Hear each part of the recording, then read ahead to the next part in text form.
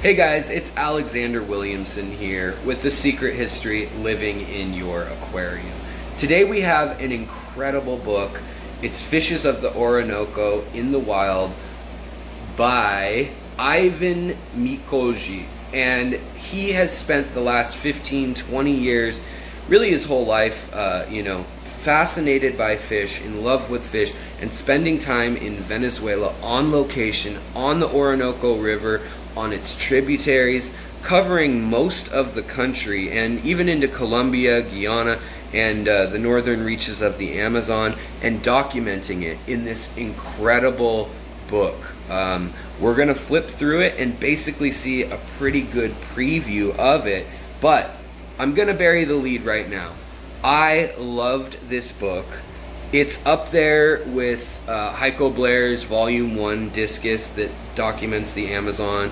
It's up there with the Peterson Guide manuals to different countries' native uh, fish and plants, birds, things like that. Or Christel Kasselmann's uh, Aquarium Plants 2019 2020 edition.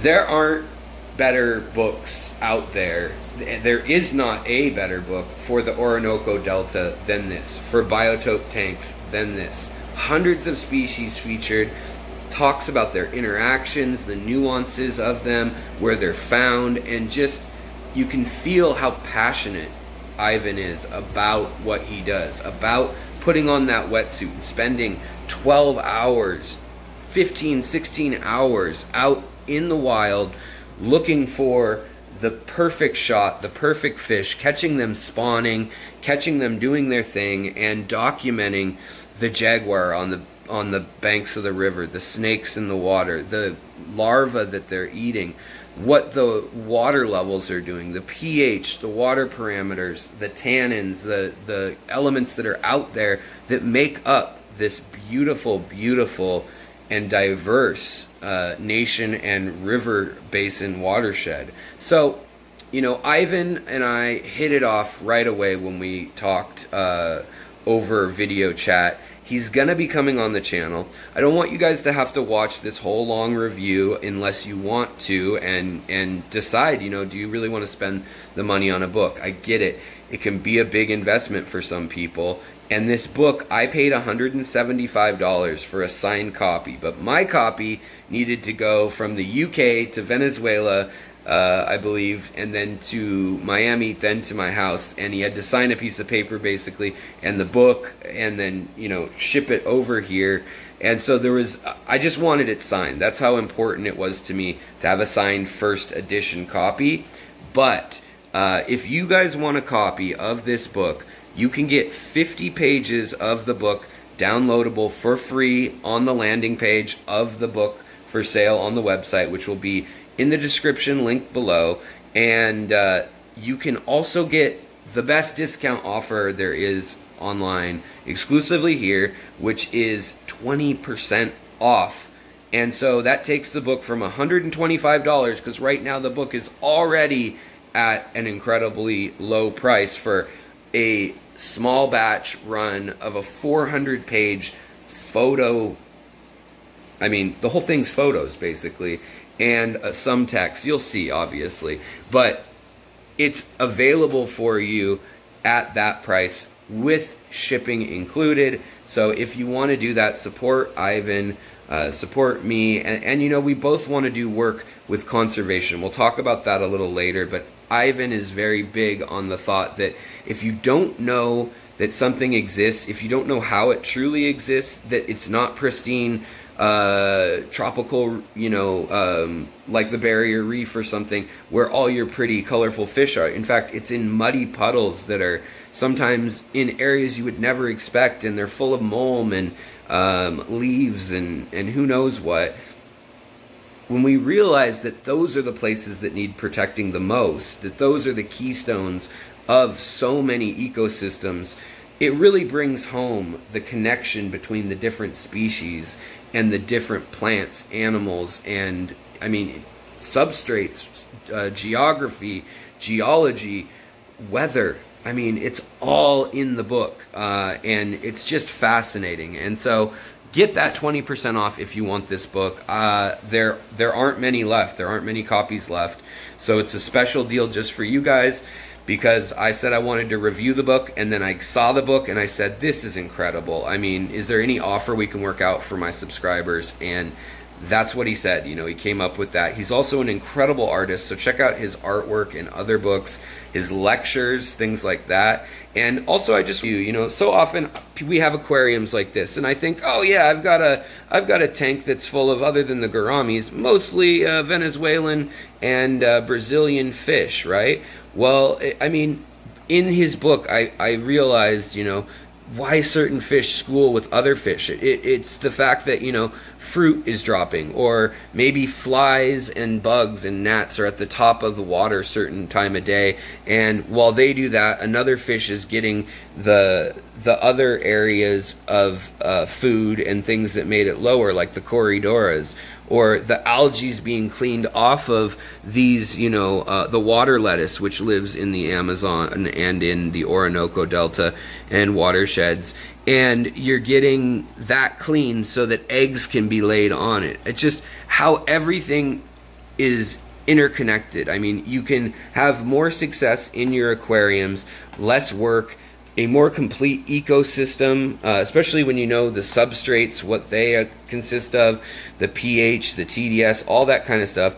And especially if you're dealing with wild caught fish. I mean, we should be trying to get tank bred fish that are nice and healthy and supporting farmers and, and things like that in and local breeders. But uh, obviously, if you have wild fish that are native to somewhere in the world and were caught wild, you have a responsibility to inform yourself about that creature and to try to pass that creature's genetics on and preserve that creature for future generations. And that is what Ivan and I both believe in. And so, I mean, that's the lead. I buried it. Go to the description if you want the book, if this is all the info you needed then grab it. But if you want to check out the book, as well as some incredible photography that he has okayed us to look at uh, up close and in high resolution, then uh, please stay tuned, check that out, and we'll hop in right now. Thanks, guys. All right, everybody, let's jump right in on this incredible book, Fishes of the Orinoco in the Wild by Ivan Mikolji probably put a little too much flair on that name. But beautifully made book. I've made several of my own books, published them independently, and so I know how much work goes into just little things like like picking where the crease in the the binding goes, how it's bound, if it's glue, if there's thread, uh, the type of paper, how thick the paper is, the glossiness. All these things go into making a book, and it's just so many hours of work and commitment. So Ivan sent me this uh, drawing, which is a sketch similar to that of the ones he does uh, frequently for art gallery showings and things like that, where he takes textures and images and movement feelings that he is getting from fish and natural scenes out there and basically in this abstract, almost Picasso-esque way, uh, he creates beautiful paintings and illustrations uh, in this style that you should definitely check out. He's he's shown them around the world uh, and in galleries, both for artistic reasons, but also to raise money for for charity and conservation. So this book is just laid out immaculately. Uh, I hope that the the metallic fingernails draw some attention to what I'm pointing at, and I hope you guys will pardon the uh, all the little tabs I've I've put in here as uh, a way to keep track of what I wanted to share with you guys. But this is really just a phenomenal phenomenal book.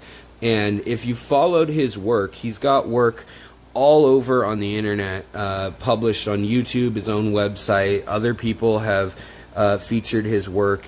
And essentially, he has lived in Venezuela or traveled to Venezuela for over 15 years now, going back and forth uh, and documenting nature and fish and biotopes as they are, not prettying them up necessarily for, you know, National Geographic or the perfect shot that's totally clear, but rather showing a reality of what the biotopes are in in the water and where it is.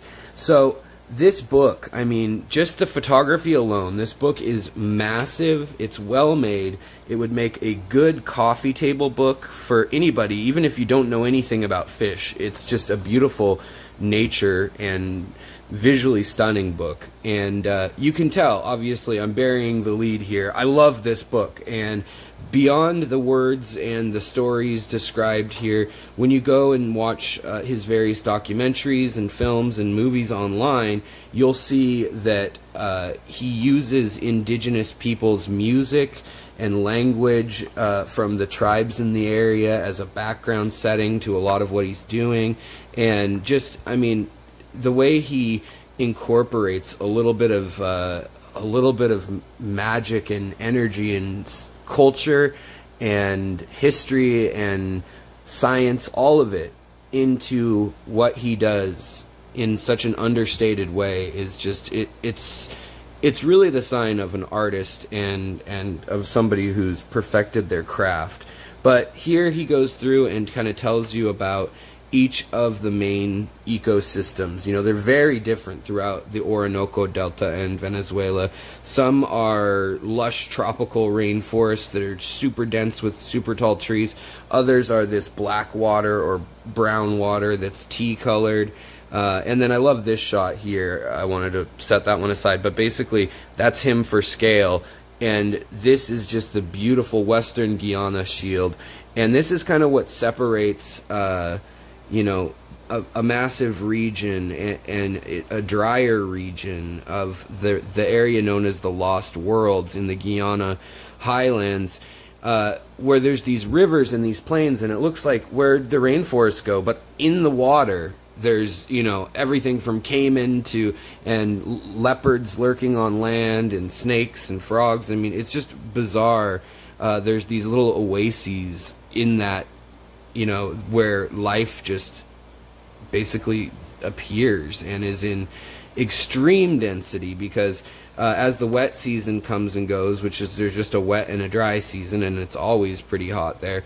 But as that happens, uh, when the water falls, uh, the the fish frequently will get together and they will spawn and have their babies. There's great photos of that going on, of the behavior, and then on the side. So so as we're looking through here, he's got it split up by types of fish, and for instance, this great shot of uh, a pike uh, characin uh, is just great. I mean, uh, it's I don't know. It's it's really cool to see. Uh, a picture of some of the fish that we don't see in the hobby necessary all the time, but he's got it broken down here where if you take a look, it it shows you the the Latin uh, taxonomy laid out for you, and in a hierarchy.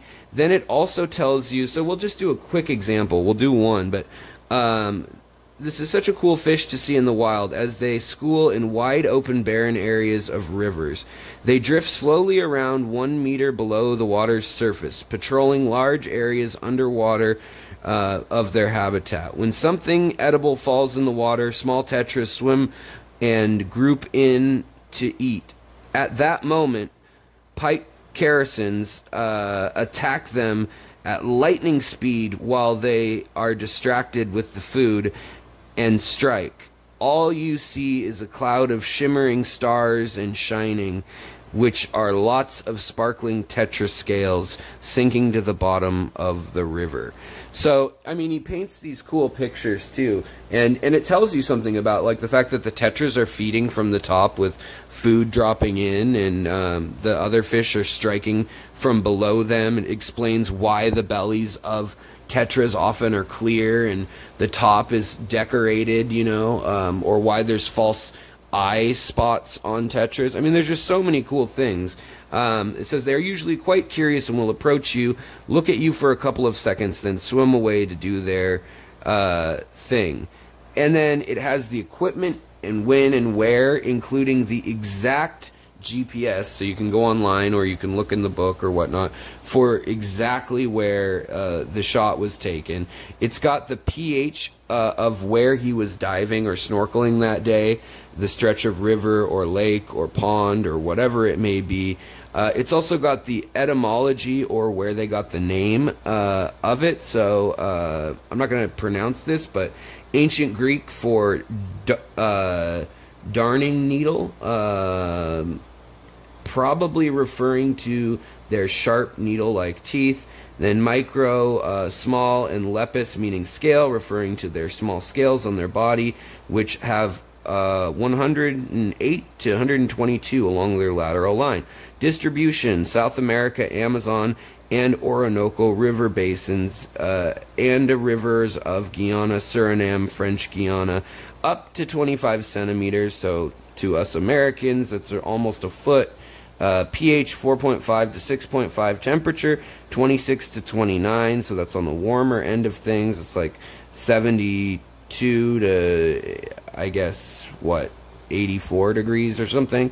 Uh, and then uh, Sympatry, which is a similar fish, I guess. Uh, fish, uh, it's got the Latin names of a few fish, and also uh, it lists plants, which is major, uh, major. And in the pictures, you see it. So then the other thing you can do is then you find out. Okay, so cool. This this fish happens to live. We we heard it lives with tetras, but uh, then we can see. Oh, it lives with these fish too. So then we can take a look at the pictures and see, holy cow, look at all the mulm and all the wood debris and all the, you know, the grasses, the algae, the and and just the beautiful time and energy it went into to capture these shots is just incredibly phenomenal. So uh, I just wanted to highlight a couple of these shots for you guys. Um, just really cool fish uh, are in this book, and if you have a biotope tank I mean, you're not going to find a better source of inspiration, information, and and what you need to really create an award-winning biotope. Uh, this is just, I mean, it's it's with an underwater flower. I mean, it's just so beautiful, uh, and it can take, it can elevate such a simple fish uh, by some standards and just raise that thing into something just spectacular. And here is Ivan himself swimming with the school, uh, or down at the bottom snorkeling. He goes in the water with these, you know, electric eels and all sorts of crazy animals that. Uh, it's dangerous. I mean, the caiman, and he goes out. Sometimes it can take him days to take trucks, trains, planes, automobiles, and then foot out into these places. And what I hope to do with him soon will be linking up with him and actually uh, retracing historical uh, records of. So, for instance, the first person to explore a certain region, the species they found, and the diversity that maybe has changed now or it's been developed there. We want to go back, look at those old journals. He's going to actually go there, and I'm going to try to dig up the historic references, sources, taxonomy, all that. And sometimes, you know, I, I mentioned conservation, but he told me a story. Him and his sister Yelka, who run their uh, company in the art and book distribution and all that uh, worldwide, they told me a story about these shacks that would be out in the middle of nowhere, essentially, on these dirt roads, and there'd be a guard there, uh, essentially, who lived in in the rural communities out in the jungle and there would be a shack that you'd go into and there may be a hundred jars of uh, like preserved fish and plants and, and other animals too. And it, some of them were from like the 1800s and the corks were rotting away because it's a humid environment. Now to redo the corks and to add new ethyl alcohol or whatever it is that they're using to preserve it ended up being less than a thousand dollars for like one of these sheds yet nobody could come up with the money locally and therefore you know the corks would rot through the specimens would be lost had to be poured out and they were ruined. And some of these fish are fish we've never we've never cataloged properly. Especially in venezuela they have a lot of fish that are overlooked easily. I mean, if there's the diversity is so huge, and there's such minute differences in some of these fish that there's no way someone in Europe who doesn't know the area, especially back in the 1800s when correspondence took months, sometimes you know, could ask, "Hey, is that have a blue dot on its tail, or are the is the nose on that red, or is that just uh, injured, or did it come in that way? Are they all like that?" So many questions that they couldn't figure out, and so things just were done wrong. And even to this day, getting specimens out is tricky. So when we have this documentation, this beautiful book and pictures, these stories, the details of how to keep your aquarium, and I mean, hundreds and hundreds of pages of just stunning, incredible photography. I mean, look at this. There. Uh, I mean, this, you've got pencilfish and headstanders and uh, little uh, top minnows and things, as well as bigger, um, you know, piranhas and uh, fish that we just don't legally we're not allowed to see in our in our part of the world. But I mean, elsewhere.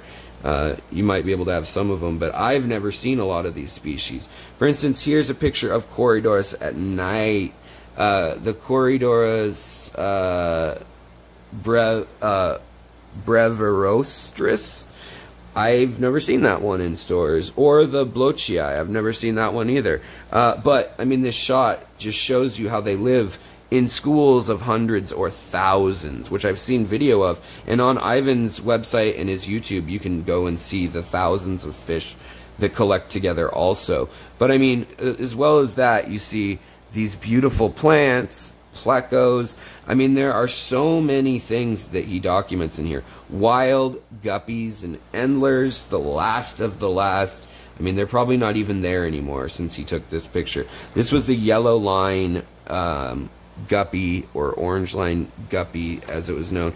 And uh, the orange line guppy, I mean, look at the tannins in this water. We usually think of alkaline water. Well, I mean, that might be crushed limestone or something there, but that's definitely going to be acidic.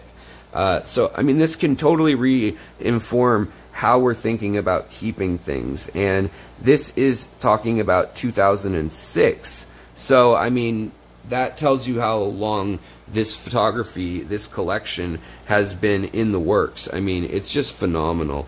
And the pictures of fish with their fry, I mean, it's just really cool. You'll see lots of species you recognize, some you've never seen before, and just seeing them in their habitats and seeing just I mean, look at these apistos.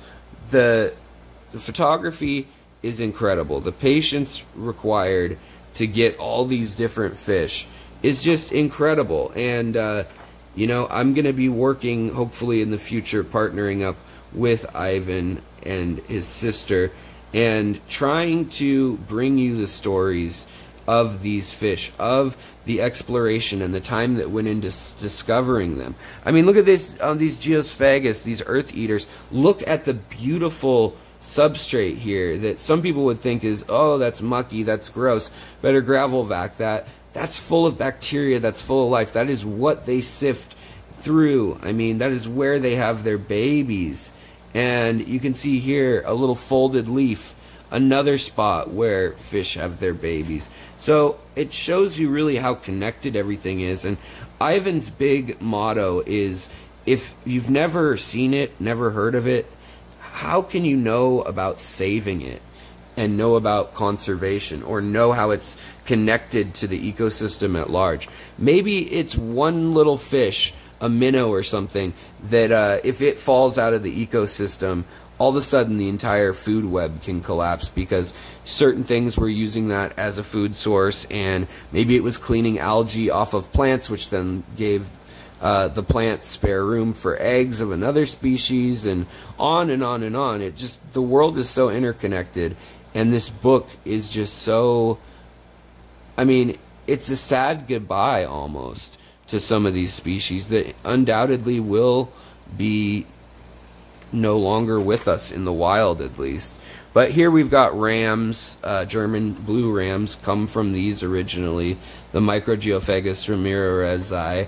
And we've also got uh, the Altum angelfish in the wild. I mean, we've got all sorts of stuff that you'll recognize, but it's cool to see the forms before any human breeding or anything like that has artificially changed anything. And again, I mean, observations like things like he saw that whenever there's stingrays, there are rummy nosed tetras around. And uh, I mean, who would notice that? Who would know that in the aquarium hobby? But say you are putting together a big aquarium, definitely why not put those, uh, you know, those tetras in with some sort of small stingray that you're keeping. Also here you can see they're they're sifting through their gills the the sand down in that molmy layer, and they're getting all those the little uh, protein and bacteria and algae and everything.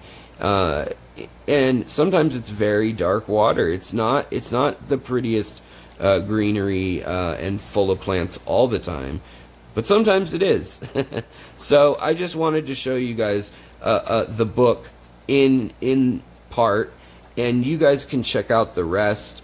I mean, there are oh, there are 400 pages here, and so this book is second to none in showing the Orinoco Delta and the really Venezuela as a whole. I mean, there's a map here in the front that shows what's covered and it is unprecedented. The only work that's similar is around $600 to buy, and it's Heiko Bleher's book, and it's on the Amazon. It doesn't cover the Orinoco uh, side of things at all, but it's about discus. But here we can see the places that uh, those pictures in the beginning showed. And, you know, the country and the, the river delta, Brazil and the Amazon are down here. Um, but it's just incredible. And then the the uh, Guianan Shield, um, also into parts of Colombia and things.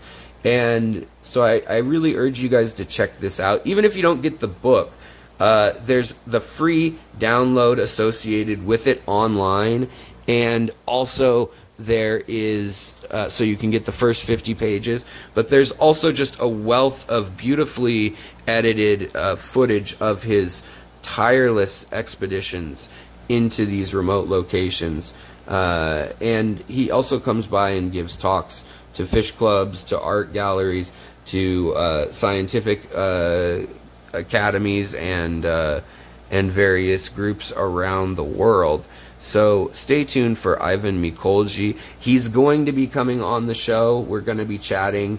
Uh, so if you guys have questions for him, go ahead and leave them in the comments here. And uh, we can use those in the live stream coming up in the next week or two. Uh, it should be really fun. I mean, he's got just incredible stories. He's got plans for all sorts of things going forward about education and, and, and linking up people. For instance, like when a scientist needs a $200 word processing laptop just to write a dissertation or something like that and they don't have access to that or to electricity so bringing them in in remote regions bringing them a solar powered laptop or something cases where $400 could make the difference between studies getting done and species getting discovered or listed as endangered or as um, least threatened. We don't even know where a lot of things stand unless people like Ivan go out there and assess. And there's a record of how things were in the past versus how they are now. So this is just an incredible book. I, I can't say enough about it. I'm a total fanboy of it. And like I said, only here will you get the discount. So check the description below, the pinned comment uh, in the comment section, and get yourself a copy of this book. Um, I hope that you know he and I work together and that we can start doing some crowdfunding of these scientific projects and expeditions that need help. Uh, and you guys can get in, in, on that too, and that possibly we work together on something like my fair trade uh, hopes for plants uh, kind of like we do for coffee already.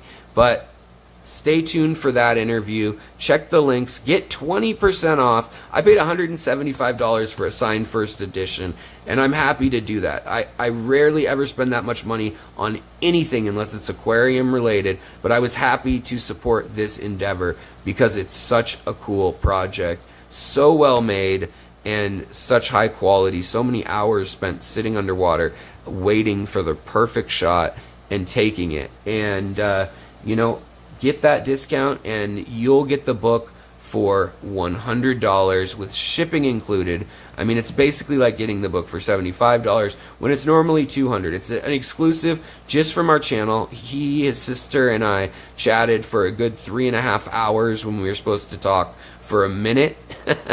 and uh, so we really hit it off, and I said, you know what, I, I love the book so much after I had received it that I want to feature it. I want to encourage it. There's only a thousand copies of the book. There's less than that. There's like 400 left. This will be a collector's edition. The Heiko Bleher version of this book that's about discus in the Amazon, that book now is going for upwards of 400 $500 up into the thousands of dollars for pristine copies. So this will also be a collector's piece as well. So um, thank you so much for watching. Uh, I hope you guys enjoy this book, or at least the 50 pages, which you go to the book's landing page site. You don't have to buy the book or anything, but you enter your name, sign up for their newsletter, which they're not going to sell your email info, but they will send updates on uh, charity, on conservation work, and on new work that Ivan has done. And you guys will get the downloadable high res 50 page version of this book ahead of time while you wait for it to arrive. Um, this is the book to allow you to win something like an ADA Aquascape uh, Biotope contest or Heiko Bleher's or the Russian contest or the Chinese contest. There is a growing field and also just letting your fish live a happy, natural existence. So much info is in this book about that. So thanks for your time that's the book review. And have a wonderful day. Thanks for watching The Secret History Living in Your Aquarium. I'd love it if you'd hit that like button if you enjoyed this, uh, if I earned it this time for you on the way out. And if you're not subscribed, go ahead and uh, subscribe if you want further updates from me. If not, then no worries. And hopefully, I'll see you next time. Thanks, guys.